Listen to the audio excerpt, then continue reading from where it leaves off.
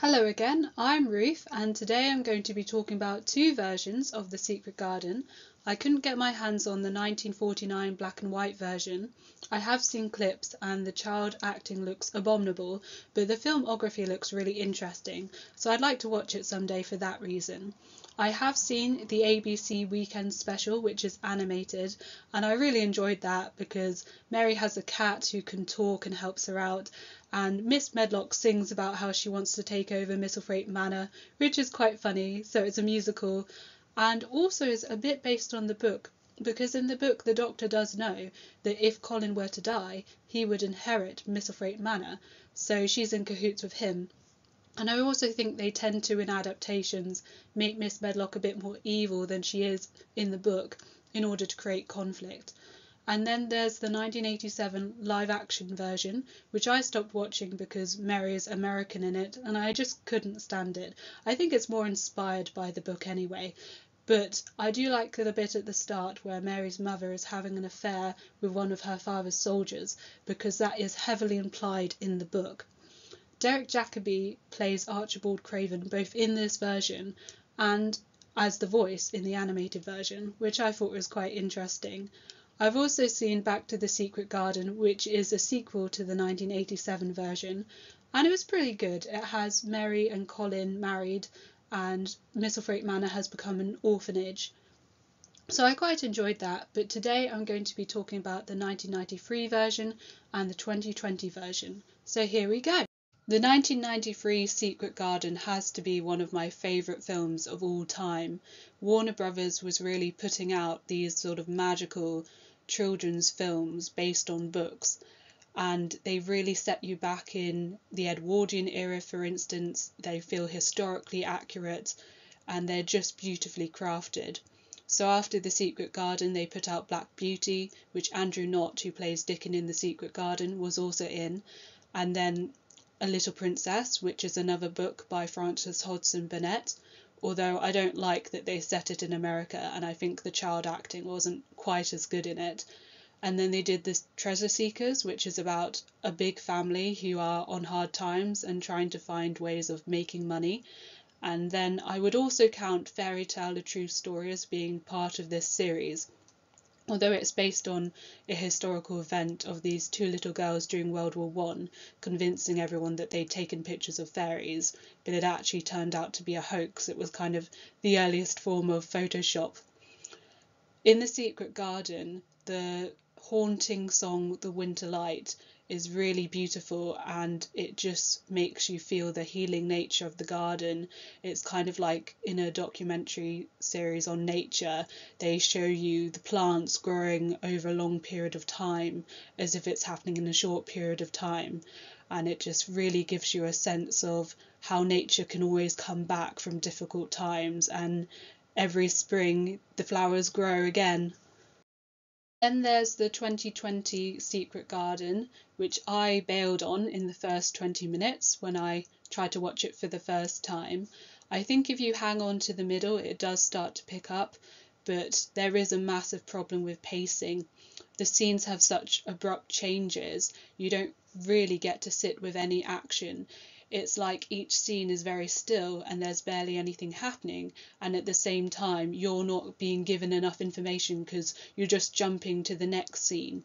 It feels like very lazy screenwriting to be honest because it's trying to start loads of stories up and then not giving you payoff you really begin to appreciate films that have short scenes of for instance a character waking up getting dressed, brushing their teeth, and you get a sense of their whole life, even though for each scene that was actually a lot of effort for the filmmakers. However, in this version, they just jump to the next thing and don't really explain anything properly. Nothing is either introduced or given an end very well. They seem to have blown their whole budget on the CGI Robin and the CGI plants, which aren't even very effective because the robin is mainly replaced by this dog who isn't in the book.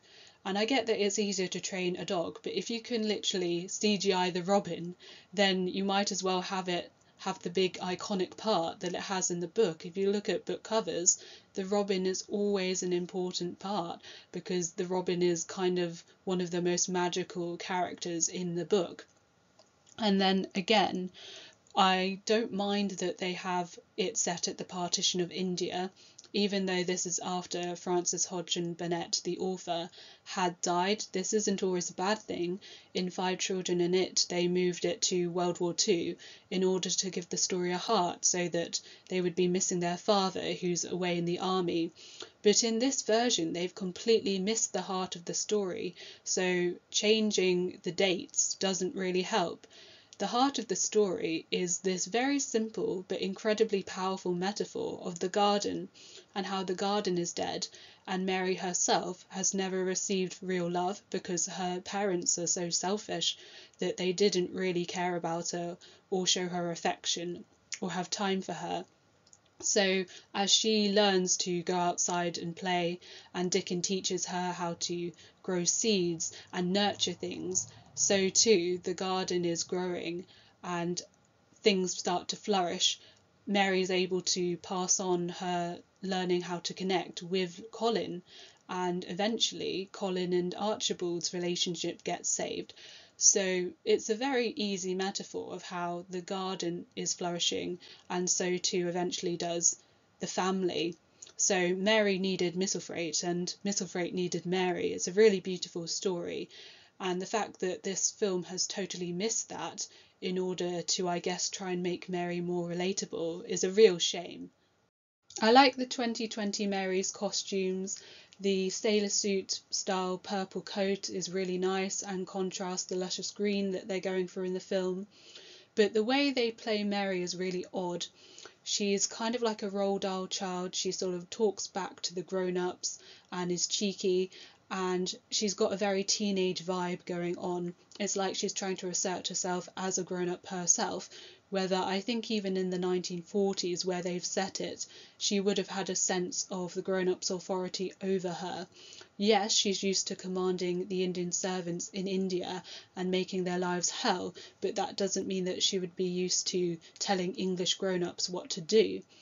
And I think they've also made her sort of more tomboyish, climbing trees and relatable, and therefore she doesn't really seem like an unusual child. She is actively seeking connection. She tries to make friends with a boy who steals her food, and she also is matey towards Martha. So she's got a lot of confidence, which the Mary in the book hasn't got. Her confidence is all in telling people what to do, yes, but in relating to other people emotionally, she has no confidence at all. She's completely scared of rejection because she's dissociated. Her parents have rejected her so often that she has put a barrier up and she rebuffs people's bids for connection. So when Martha in the 1993 version starts making jokes with her and putting her hat over her eyes or trying to tickle her, she just doesn't get it. It confuses her.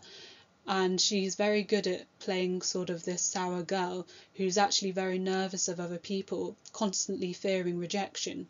And it takes people like Martha and Dickon being kind to her and showing her what real love can look like that makes her come out of her shell and she starts to fear rejection less and she's able to pass this on to Colin who also learns how to connect to people. I think that in both films the child acting for Colin is the strongest out of the three children. Although I think it's a shame in the 2020 version he doesn't really get to do the tantrums. He gets to be posh and petulant and commanding, but every time he starts up a howl, Mary just clamps her hand over his mouth. So when she says, Don't start this up again, you'll scream, I'll scream, you know how this goes. We don't really know how this goes because we've never been able to see either of them have a proper tantrum, which is really characteristic of them in the book. You do get to see this really important part of the book in the 1993 version, however, because they have Heydon Prowse, who I'm glad was cast instead of Elijah Wood, really going for it, sort of screaming and hitting his pillows and going red in the face. So Mary comes in and she has a massive go at him. She says that everyone hates him and she just has a tantrum herself. And it really makes him sort of look up because she is reacting unlike anyone else has ever reacted before. All the grown ups sort of fawn over him and do his bidding in order to stop the screaming. But she is also interesting him because she's challenging what the grown ups say, which is that he's going to die early and not live to be a man. And that's exactly what is making him cry in the first place, is feeling that he doesn't have a future. So the fact that she believes in him and that she does believe that he has a future really makes him care a lot about her opinion. And they're really the central relationship of the story. It's very important that they sort of can back each other up because they know what it's like to be a spoilt brat who's neglected by their parents. Whether in the 2020 version, even when they're introduced, she sort of finds him down her straight corridor. He's very easy to find. I don't know how she missed him before, to be honest. They don't seem that surprised to find each other or excited that they have a cousin, and then it abruptly ends because all the scenes in the 2020 version abruptly end. Where in the 1993 version, you get this sort of mystery, it's quite gothic. She sort of says to Martha that she can hear this howling, and Martha says that a maid just has toothache. And she actually says when she finds him because she's interested, and Martha's really shocked and worried that she has actually found him. So it's kind of a bit of a detective thing to try and work out who Colin is. So when she finds him down a winding staircase and past medieval tapestries, it's really exciting. They're both worried that each other is a ghost, and then they're really excited when they find out that they're cousins and the same age and it's really sweet because when Mary is coming down the stairs, Colin sort of looks in the mirror and checks his breath because he's meeting the girl for the first time. And later on, he says that he wants to marry her. And I think it's because she has become so important to him. And she sort of reminds him that they're cousins. But they're not only cousins in this film, their mothers are twins. There's the sort of twin elephants to represent this. So genetically, they are half brother and sister. So they probably shouldn't marry. But he does seem to be very interested in her because as he's taking a photo of her and Dickon, he gets them to look at each other on the swing seat and he gets quite jealous and angry when they sort of stare at each other as if they quite like each other. So there's a sort of love triangle being set up for when they're grown up. And he does actually have quite a difficult life. Um, he has to go through all these odd Edwardian treatments for children who are apparently sickly because Medlock is so convinced that he is a sickly child and convincing him that he is a sickly child. So he goes through these sort of ice baths and having electric shocks. And you can see that even though he's spoiled and has all these nice books and toys, he doesn't really have a very nice life being bedridden and being told that if he goes outside, the spores will get him.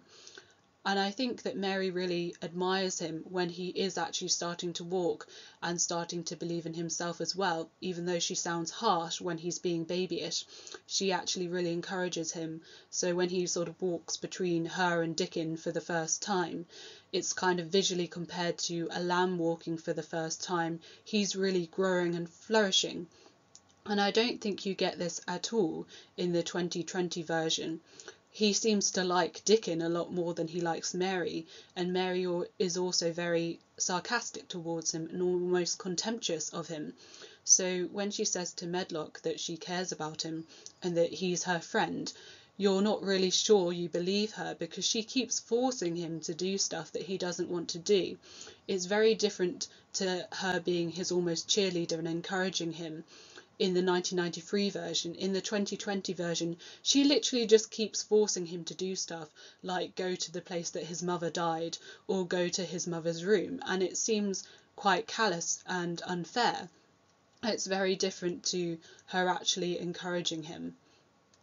In the book, Martha and Dickon are part of the Sowerby family, which is a really large family where there's not always enough food to go around, but they're very virtuous about it because they know they have love and therefore they are secure in their happiness and they don't feel intimidated by people being mean to them. They can be cheerful in the face of sulky children or people looking down on them because they're lower class.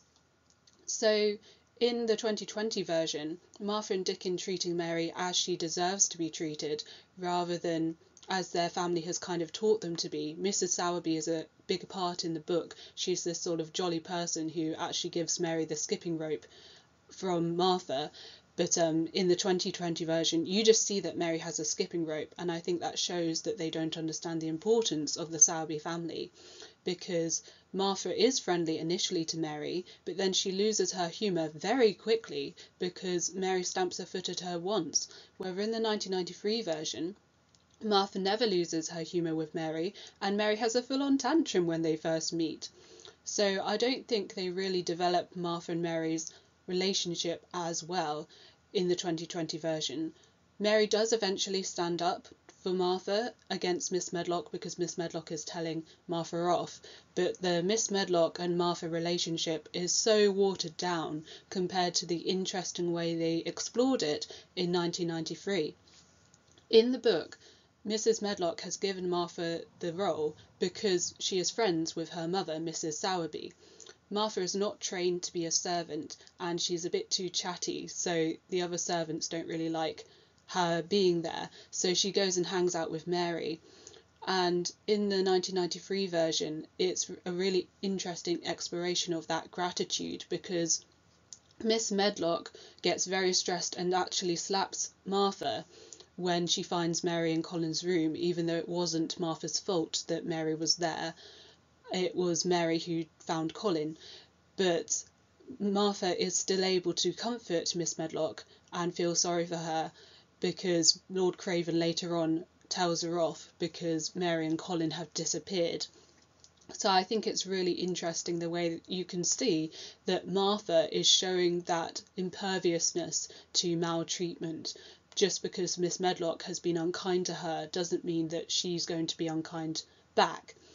And Dickon in the 2020 version also kind of is offhand to Mary. He isn't sort of really friendly and cheerful in the way that he is in the 1993 version, where he gets her to chase him and then rides off on his pony.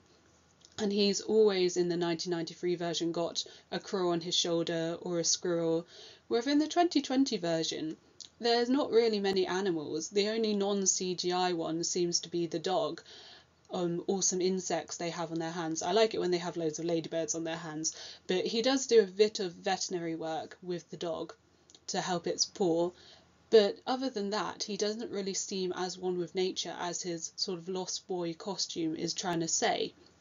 I do like that Mary passes on his spit handshake to Colin because in the book Mary sits by Colin's bedside a lot before Colin starts going outside and sort of tells him about Dickon and passes on the stuff that Dickon has been teaching her, like the Yorkshire dialect, which in the 2020 version Colin just sort of repeats from Dickon directly. He likes Dickon's Yorkshire accent a lot, the way he says flowers, and in the book, flower symbolism is quite important. So I don't think he quite gets to be the sort of woodland nymph that he is in the book. In the 2020 version, they can't seem to deal with that Mary's parents didn't love her in the book. They were narcissistic parents, so they've made them into these loving parents. Her father played with her when she was little, and her mother is only not playing with her because she is in grief for her sister, Colin's mother. So you end up having a story where both Mary and Colin are under a misunderstanding that their mothers didn't love them, and then they find out through letters that their mothers did in fact love them. And the mothers even seem to come back to life a lot because they're kind of ghosts, which fit in with the horror film Doll's House that they've made Misselthwaite Manor into. And Mary even interacts with her mother, and it's a kind of healing process, but it's a very different story from the 1993 version, which really shows off the narcissistic parents just from one memory of Mary when she's a very little girl going towards her mother's arms and then her mother gets distracted and runs off. That really shows you completely how narcissistic and self absorbed Mary's mother was. She could have been a good mother, but instead she was always distracted by other things like parties or her father or maybe even other soldiers. So I think the way they've done it is a complete misunderstanding of the book and maybe an inability to deal with the idea of narcissistic parents, even though they exist in real life. And in the 2020 version, for some reason, they have made Lord Craven into a kind of villain. Colin Firth plays Lord Craven, and he actually was in the 1987 version as adult Colin, so this is his second Secret Garden adaptation. But even though they seem to try and make the mothers better, they are making him much worse as a father and as an uncle because he keeps threatening to send Mary to school. And he even says something that sounds slightly sexist, where he says that all women eventually leave Misselthwaite Manor, which is a really ominous thing to say given that his wife left Misselthwaite Manor because she died, so it's almost saying that Mary's going to die. However, in the 1993 version, he's much more like in the book. He sort of just can't deal with life. He's too caught up in grief. He tries to be kind to Mary, and he says yes when she asks for a bit of earth, which is a really important part of the book where she's basically asking to have the secret garden, but she is doing it in a sort of coy way in order not to be told no. So he says, Of course, you can have part of Earth sort of, you know, go away. I can't, you know, deal with you because you look like my dead wife.